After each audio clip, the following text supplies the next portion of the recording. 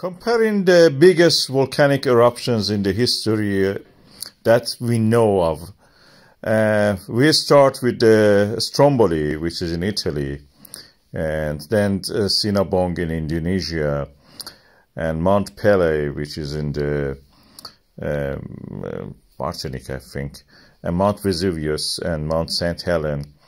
Pinatubo was uh, recently very active, and that was in Philippines, and Nova Rupta, Eldgjá in the um, Iceland, Krakatoa, which is very famous, and uh, although it was not any bigger, and several other ones in Mexico and uh, neighboring countries, Yellowstone. But the biggest ones, the Lake Toba, it actually caused the biggest human ex extinction. Only 10,000 people survived that, Mount Toba.